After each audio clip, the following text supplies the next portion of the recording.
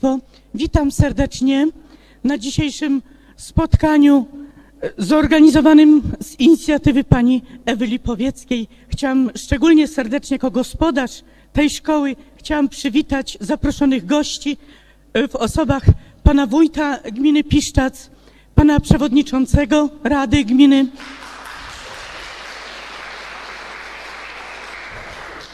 panią dyrektor Banku Spółdzielczego w Piszczacu, radnych, radnych z gminy Piszczac, wszystkich pracowników również Urzędu Gminy i wszystkich Państwa, którzyście tutaj zechcieli dzisiaj przyjść i z nami być przez te najbliższe, yy, że tak powiem, godziny, minuty, nie wiem ile czasu nam to zajmie. A szczególnie serdecznie chciałam powitać wszystkich artystów, którzy odpowiedzieli na zaproszenie pani Ewy Lipowieckiej i zechcieli wziąć dzisiaj udział i nam uświetnić tę uroczystość.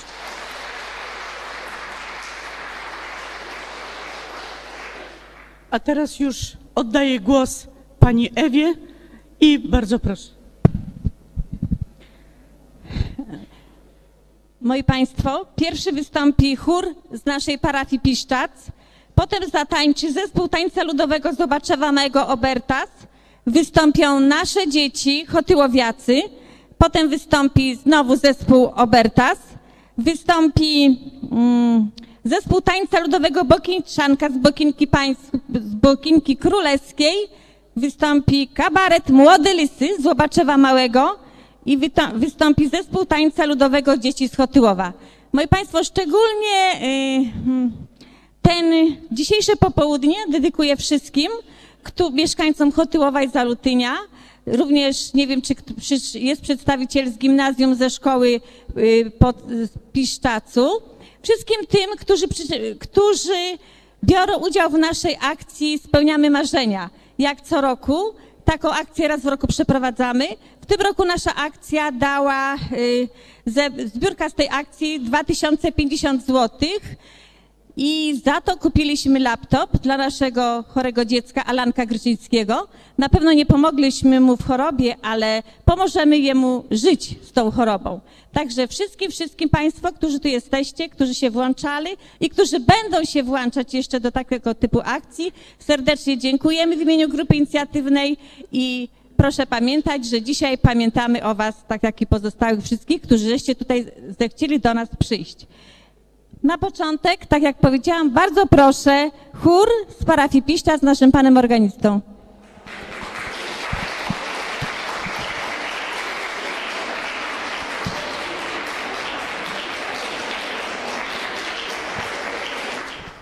Bardzo mi miło Państwa powitać w imieniu e, chóru parafialnego z Piszczaca. I jak przystało na chór kościelny, zaśpiewamy dzisiaj pieśni o tematyce religijnej. E, Pierwsza pieśń będzie nawiązywała do e, tematu dzisiejszej niedzieli i życzę miłego odbioru.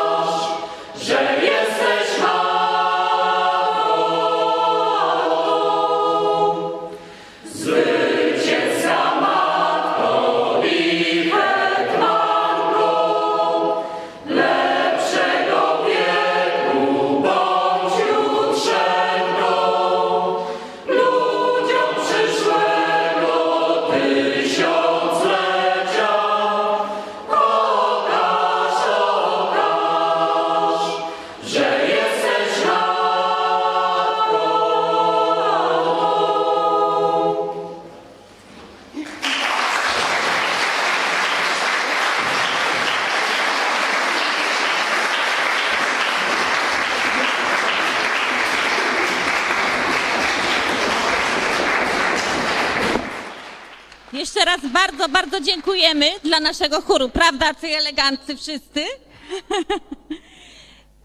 Moi Państwo, teraz nasze dzieci, które tańczą przy naszej szkole, przy Zespole Placówek Oświatowych.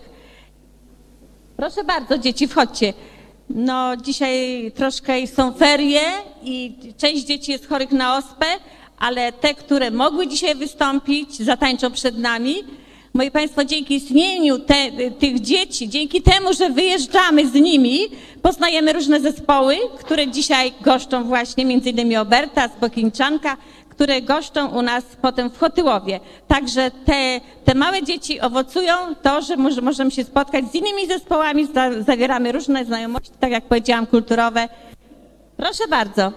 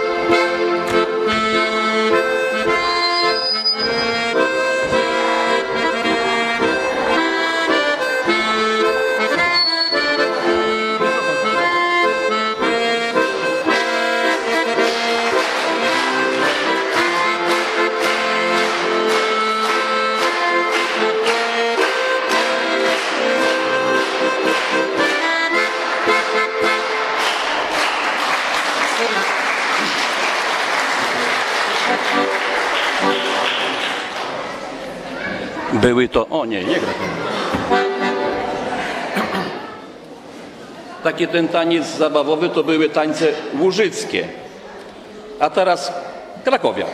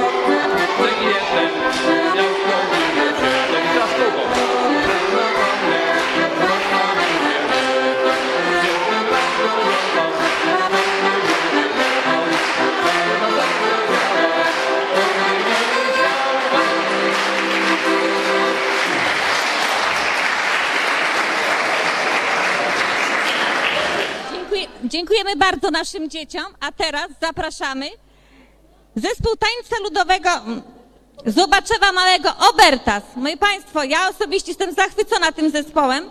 Poznaliśmy się z dziećmi będąc w Kodniu. Obertas tańczył już u nas w leśniczówce na trawie, ale obiecał, że przyjedzie zimą i bardzo proszę, jest. Też się troszkę pochorowali, ale kto mógł, przyjechał.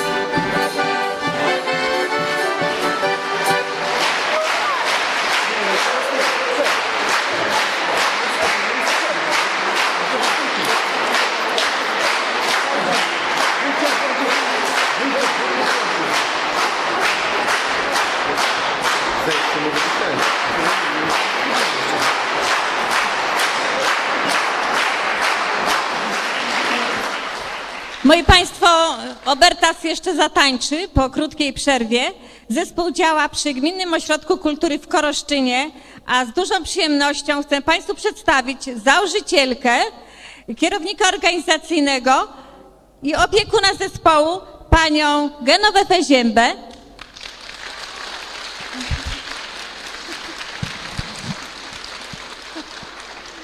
Także Proszę bardzo. Następny zespół, to też, który przyjechał do nas, który działa przy Gminnym Ośrodku Kultury w Koroszczynie. To jest kabaret, który działa od trzech miesięcy. Naprawdę proszę bardzo y, pilnie słuchać. Przedstawią nam sztukę gospodarstwo agroturystyczne.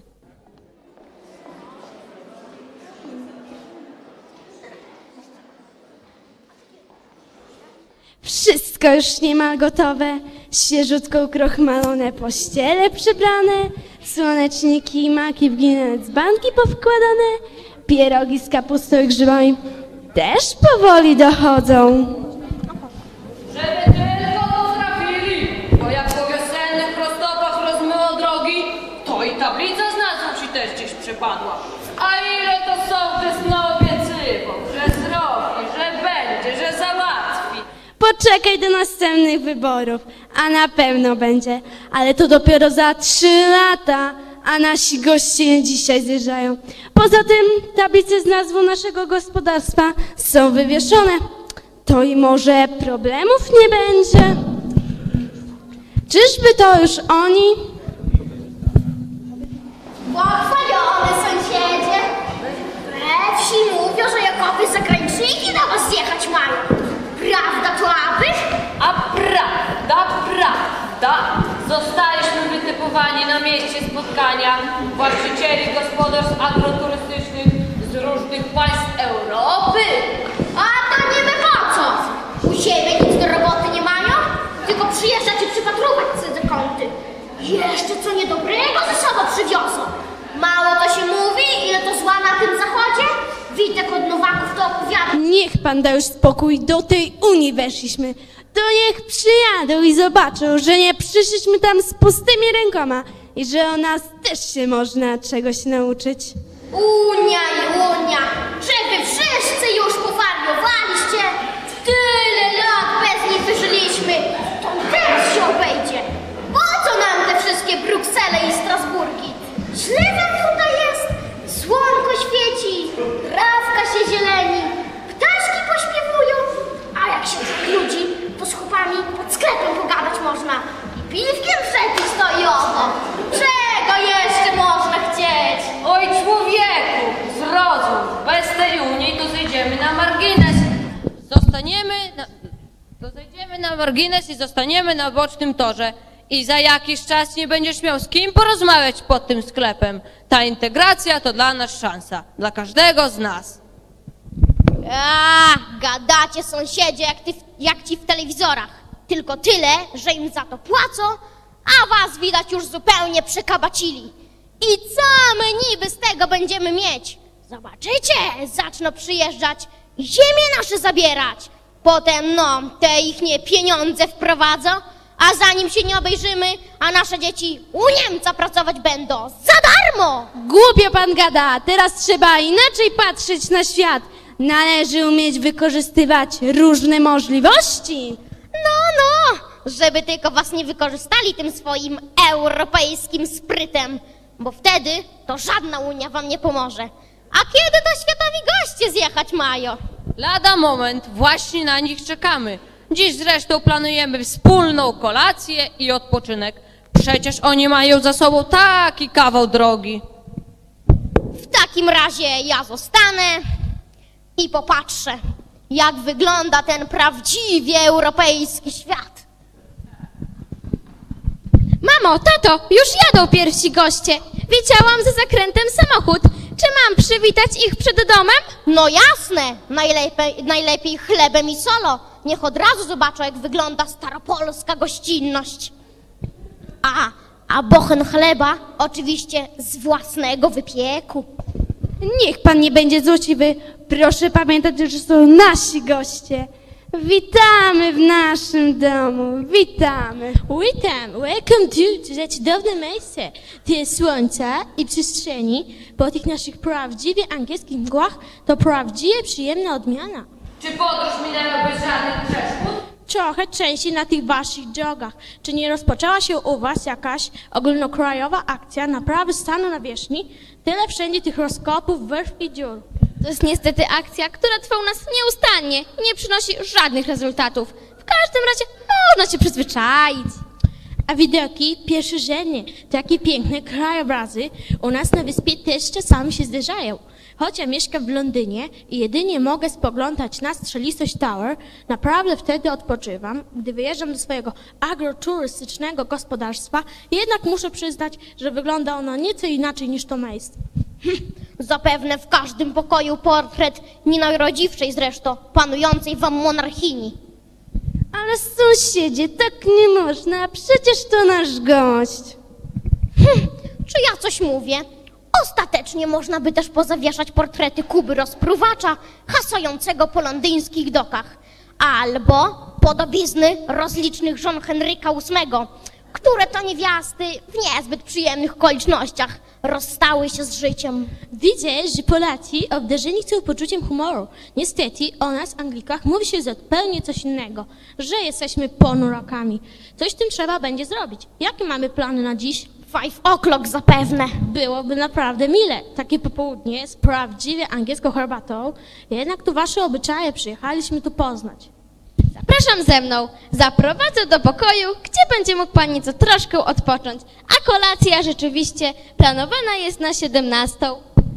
Zbliża się kolejny gość, a ja bardzo proszę pana sąsiedzie, żeby pan nie burzył w taki sposób mitu o tradycyjnej polskiej gościnności. A co ja takiego powiedziałem? Przyjeżdża taki z kraju puddingu i Beatlesów i już na początek jemu nasze drogi się nie podobają. U nas to przynajmniej samochody kierownicę mają tam, gdzie się należy, po lewej stronie. A oni co? I na nich niby mamy się wzorować. Dobre mi sobie. Witek od Nowaków to opowiadał. Zakończcie już te kłótnie. Witamy drogiego gościa w naszych progach. Ach, witajcie moi drodzy. Właśnie dotarłam. Cudowne miejsce, zachwycające. Tyle słońca i przestrzeni. Nasi impresjoniści mieliby pełne ro y, ręce roboty. Ta zieleń, cudownie zmieszana ze złocistymi promieniami słońca. Do tego fantastyczny błękit nieba. Nasz lasek boloński to zaledwie zagajnik przy tych waszych wspaniałych lasach, które tu mijało. Nie przesadzajmy, wy, wy przecież też macie tyle atrakcji, na przykład Louvre z Monalizą, najsłynniejszą w Europie wieżę, liczne zamki nad Loarą. My w tym miejscu jesteśmy pozbawieni tego rozmachu. Od kiedy zamieszkałam na wsi, zupełnie zapomniałam, że dzieło Alfla nieodmiennie kojarzone jest z Francją. Cieszę się, że mogłam tu do Was przyjechać. Już nie mogę się doczekać, aby wyruszyć na zwiedzanie następnych okolic. O, trzeba ostrzeć wszystkie ślimaki i inne żabokształtne stworzenia, że zbliża się niebezpieczeństwo pod trójkolorowym sztandarem. A tak pana prosiłam. I historia naszego kraju nie jest Pan obca. A, nic nie szkodzi, przecież wiem, że nazywają nas szczebojadami. Jednak my, Francuzi, posiadamy jeszcze inne atuty. Nasz wielki mały człowiek ruszył na podbój Europy. Najznakomitsi kreatorzy mody pochodzą z naszego kraju. Mamy znakomite wina i fantastycznych piłkarzy. I podobno jesteśmy najlepszymi kochankami. O, szczególnie ten ostatni argument mnie przekonuje. Ciekawe, czy jak wejdziemy do Unii, to też będziemy musieli się do was dostosować pod tym względem. Ależ jak pan może przy kobiecie o takich rzeczach? A niby dlaczego nie? W końcu to oni mają powypisywane na swoich sztandarach. Równość, wolność, braterstwo. To chyba mogę mówić to, co mi się podoba. I historia naszego kraju nie jest panu obca, więc i o Bastylii i niejakiej kobiecie ani rycerzu też słyszeliście. Lecz o historii waszego kraju ja sama wiem niewiele, ale myślę, że to się da naprawić. Teraz jednak wypocząć trzeba. Zapraszam. Na litość boską, cierpi pan na jakąś spiskową teorię dziejów? Anglik się panu nie podobał, dla francuski był pan niemiły. Kto w takim razie spełnia pańskie wymagania? To może gość przyjaznej Holandii na coś się przyda. Latający Holender. Jeszcze tego tutaj brakuje. Przepraszam, ale chyba nie rozumiem. Ja nigdzie nie leciałem, przyjechałem swoim samochodem. Proszę nie zwracać na to uwagi. U nas się tylko tak mówi. A przede wszystkim witamy u nas. Serdecznie witamy. Fantastyczne miejsce. Nie spodziewałem się, że może tak pięknie. Tyle zieleni, taka cisza, no i nie tak płasko jak u nas, bo na tych naszych depresjach... W depresję to my wpadamy zupełnie z innych powodów. Przepraszam, ale znowu nic nie zrozumiałem. To drobnostka. Naprawdę cieszę się, że będziemy mogli wspólnie spędzić czas, wymienić się doświadczeniami. Jasne, cebulki holenderskich tulipanów w zamian za siew naszych astrów. Hoduje pan tulipany? To fantastycznie. Musi mi pan koniecznie pokazać. Sam od wielu lat prowadzę dość interesujące hodowle. Moi goście są nimi zachwyceni. No oczywiście, obsadzam nimi mój przydomowy wiatrak. Czy pan się wreszcie uspokoi? Przecież ci ludzie są naszymi gośćmi. Jak będziemy wyglądać w ich oczach? Serdecznie witam naszego kolejnego gościa. A skoro mowa o tulipanach i wiatrakach, to znaczy, że przyjechał pan z Holandii. Kiedy byłam na wycieczce w Amsterdamie, hmm, to fantastyczne miasto. No i do tego bardzo swobodnie, obyczajowo. Weźmy na przykład taką dzielnicę. To ja może lepiej zabiorę naszego gościa. O, może nie należało ich razem puszczać. Lepiej niech ktoś za nimi idzie. Pan chyba naprawdę zwariował. O co panu chodzi? I niby dlaczego ktoś ma za nimi biec? Oj, ludzie, ludzie, czy wy niczego nie rozumiecie? Przecież on z Holandii przyjechał, a tam to wolno wszystko. I legalne narkotyki, i eutanazja, no i te ich tam małżeństwa. To, że on jest potomkiem kupców, pastorów i żeglarzy, to naprawdę jeszcze o niczym nie świadczy. Ależ pan jest prowincjonalny. Może to prawda, że do tej Unii jeszcze nie dorośliśmy, że dużo czasu musi minąć, zanim inaczej myśleć zaczniemy. Jednak, żeby ludzkie myślenie zmienić, to nie traktatów, umów i głosowań trzeba, ale ludzkich pokoleń. Lepiej zakończcie tę dyskusję, bo kolejny gość nadchodzi. Przyprowadziłam gościa, który przybył naprawdę z daleka. Oto potomkini smagłych Maurów i dzielnych Toradorów, seniorita Karla, która przybyła z południowej Katalonii. Hmm, jakoś nie słyszę radośnie w tle pobrzękujących kastanietów. Naprawdę pan nie może. Serdecznie witam w naszych drogach. Ole, cieszę się, że wreszcie dotarłam. Podróż przez cały europejski kontynent jest szalenie męcząca. Niestety, niewiele zostało we mnie z globotroterskich skłonności Corteza. My z Montezumą na szczęście nie mamy nic wspólnego. O, widzę, że Polacy znają nie tylko historię swojego kraju, ale wiedzą coś jeszcze o innych krajach Europy. Ja wasz kraj kojarzyłam dotychczas tylko z Wałęsą i papieżem. Dla nas Hiszpanie to nade wszystko. Corrida i torradorzy. To natomiast dyscyplina zastrzeżona wyłącznie dla miłośników mocnych wrażeń. O, to należała do nich niejaka Izabela Kastylijska, miłościwie wam panująca królowa. Jej poddani na brak owych wrażeń na pewno nie narzekali. Każdy z krajów ma jakieś ciemne plamy swojej przeszłości. Jedynie niektórzy za wszelką cenę próbują je zamaskować. Najczęściej z marnym skutkiem. Dlatego lepiej skupmy się na teraźniejszości. Proponuję krótki odpoczynek przed wspólną kolacją. Znakomicie, bo po tej całej podróży raczej nie przypominam urodziwej kontesy od El Greca. O, z tym to nawet bym się zgodził. Lepiej będzie, jeśli już stąd pójdziemy. Hiszpanie też się panu nie podobają? Ci potomkowie arcykatolickich królów? Obłowili się złotem z Nowego Świata, a nic porządnie zrobić nie potrafią. Weźmy na przykład taką tam katedrę w Madrycie. Tego tam Gaudiego. Niby to zabytek, Niby atrakcja, a ciągle jakieś niedokończone. Jeżeli chodzi o takie niedoróbki, to sami jesteśmy w tym mistrzami.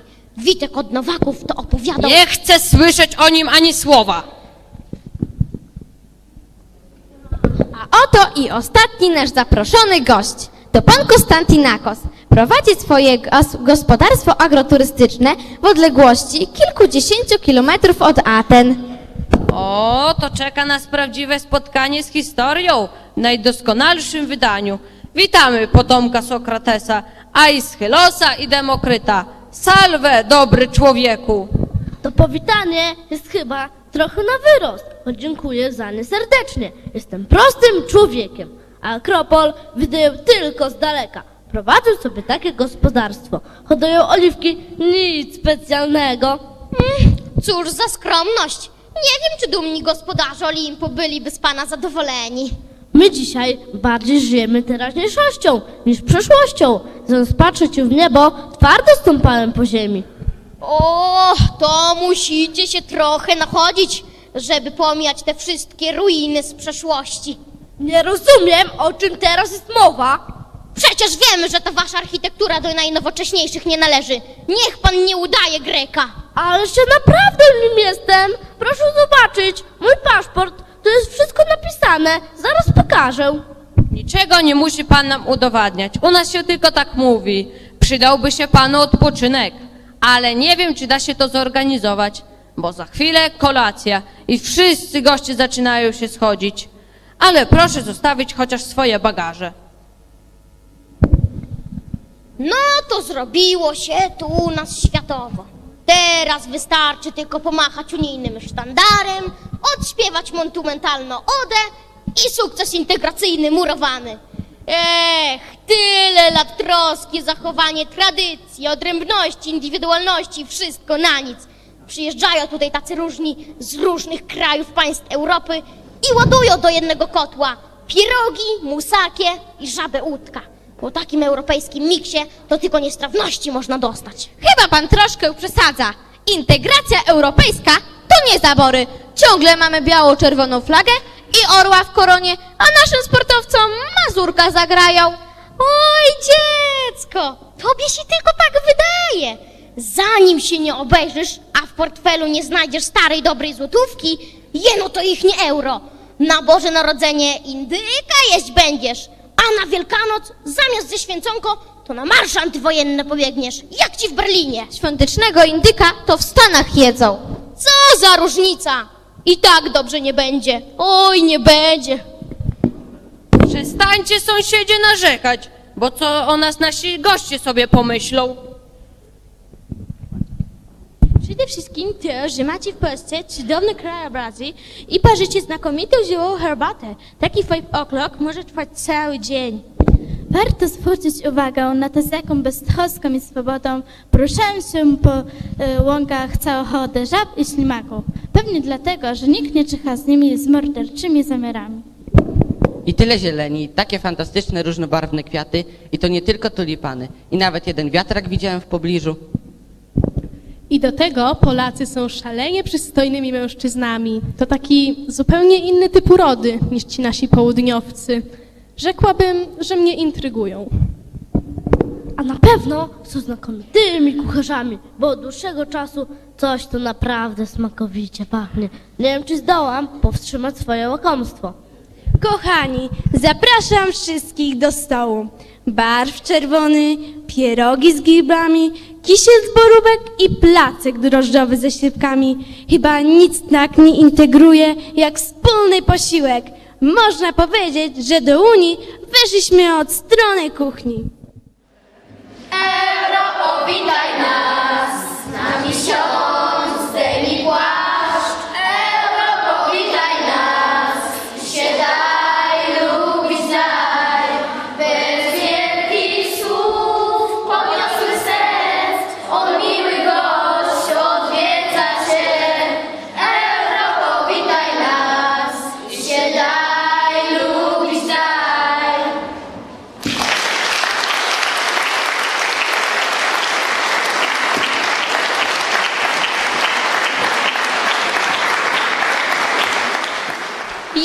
Jeżeli częstujemy ich pierogami i drożdżówką, to może ta cała integracja nie jest taka zła. Kto ja tam wie? A z tym Witkiem od Nowaków to ja będę musiał jeszcze porozmawiać.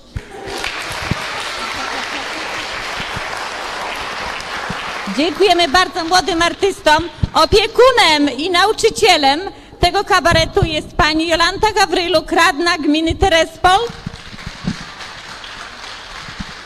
która przyjechała tutaj z nami, z panią Sołtys, też z gminy Terespol, Łobaczew Mały, która też dzielnie im tutaj pomaga. Bardzo proszę, bardzo proszę zespół ludowy z Bokinki Bokiniczanka. Zespół Bokińczanka działa 5 lat. Jest też zaprzyjaźnionym naszym zespołem, z którym się spotykamy nieraz na leśniczówce czy na dożynkach y, w Kodniu na przykład ostatnio.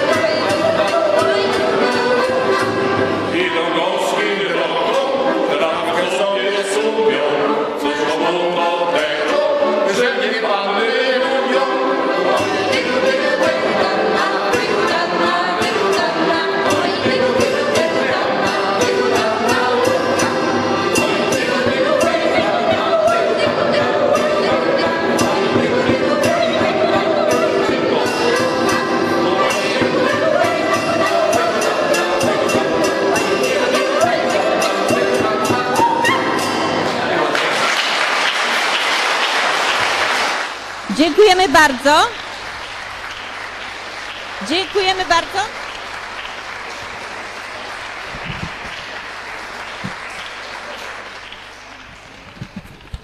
Dziękujemy i proszę, prosimy na scenę zespół pieśni i tańca ludowego Ziemi Piszczackiej z Piszczaca. Bardzo proszę.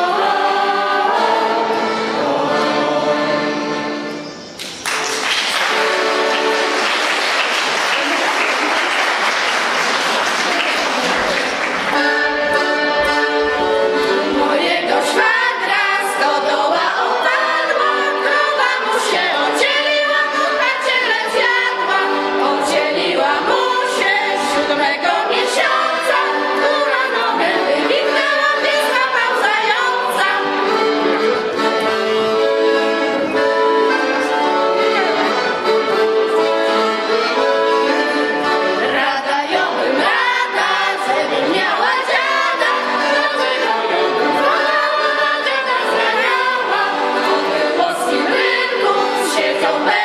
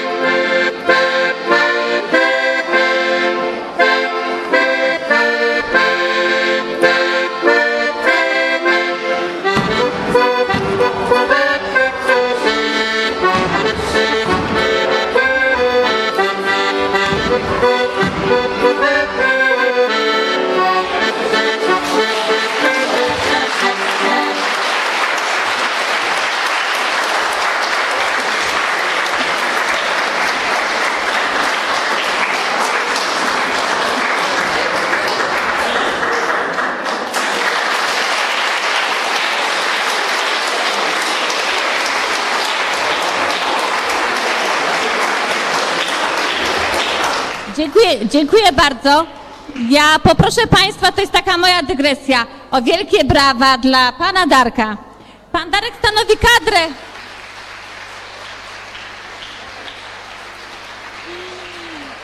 Pan Darek stanowi kadrę techniczno-inżynieryjną naszego przedsiębiorstwa robót kolejowych z Wrocławia. I tutaj wolnymi dni, popołudniami zasila ten zespół, razem z nimi tańczy. Wielkie brawa dla Pana Darka.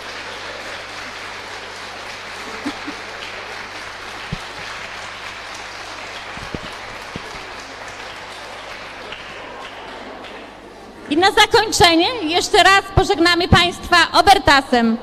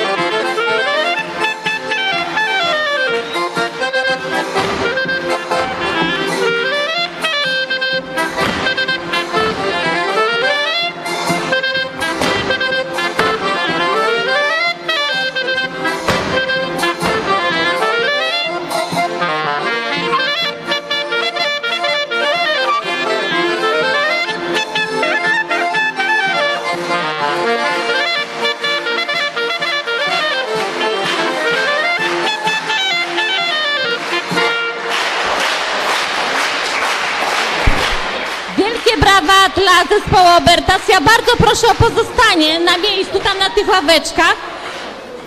A Państwa jeszcze poproszę o trzy minuty tylko, zanim będziemy się żegnali, bo tu dzieci, które przyjechały też z Gminnego Ośrodka Kultury w Koroszczynie, jeszcze chcą trzy minuty coś nam tutaj pokazać.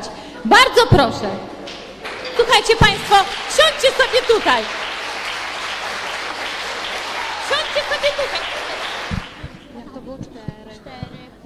Czterech mądrych się zebrało i w maślakach rządzić chciało, lecz sklepowa odradziła, bo za dużo pili piwa.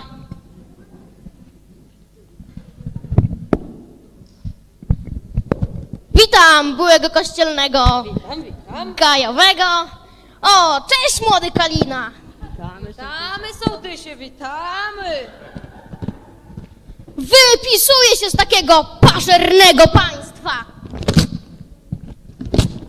A z parafii też? Zastanowię się. A za co był ten mandat? Za przekroczenie szybkości. Jak to? Jak powszechnie wiadomo, sołtys jeździ tylko rowerem i do tego kiepsko. Podczepiłem się pod tira. A jak można się wypisać z takiego państwa? Bo mam już serdecznie dość tych ciągłych podwyżek na paliwo. Jak to? Przecież Kalina nie ma roweru i tylko tankuje pod sklepem. Trzeba spalić dowody osobiste. Podoba mi się wizja nowego państwa. Z powodu odcięcia mi prądu przez nieludzkiego inspektora tylko za to, że pobierałem energię z pod pominięciem licznika. A co potem? Hmm, hmm. Spalimy paszporty. A co dalej? Co? Odłączym wieś maślaki od państwa? Zrobim granicę za ostatnio chałupo? Wprowadzamy cło, opłaty wizowe i wio! Trzeba wy- e, obmyślić godło, wybrać prezydenta, Sejm i Senat. A po co mnożyć darmo zjadów? Po co prezydent?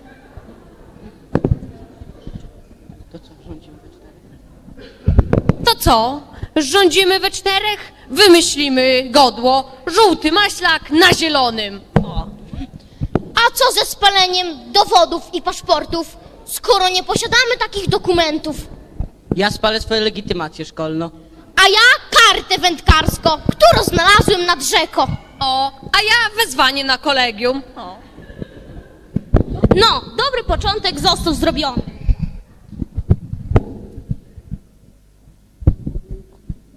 Słyszałem o założeniu nowego państwa. Nie wypłacę byłemu kościelnemu renty, skoro kościelne zmieniło obywatelstwo.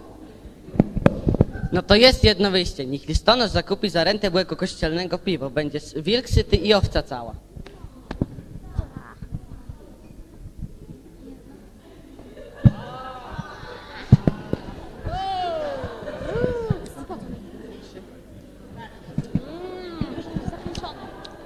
I zakończenie. Nowe rządy zakończone, państwo maślak niestworzone, to się dla nas nie opłaca. Jaka płaca, taka praca. Czekam na rentę, bo się rozmyśliłem i nie mam zamiaru zmieniać obywatelstwa. No, dziękujemy.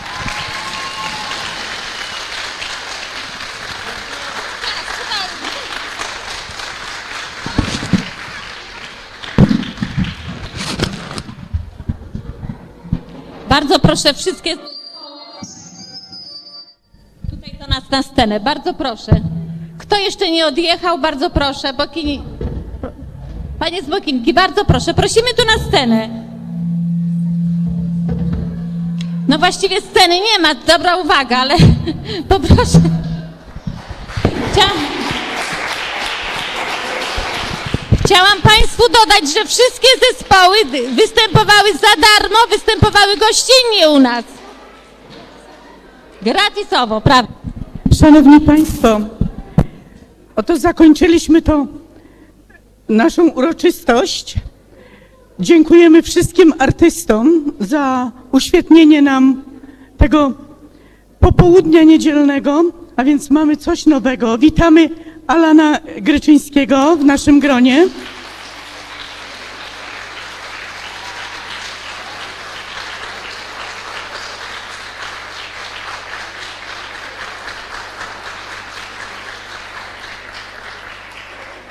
I chciałam w imieniu e, pani Ewy, pani sołtys e, Chotyłowa, w imieniu swoim również i w imieniu waszym, szanowni państwo, podziękować tym zespołom, które tutaj dzisiaj przed nami wystąpiły. Dziękuję serdecznie i gratuluję wam e, talentu, życzę dalszych sukcesów i wszystkiego dobrego. Dziękuję bardzo.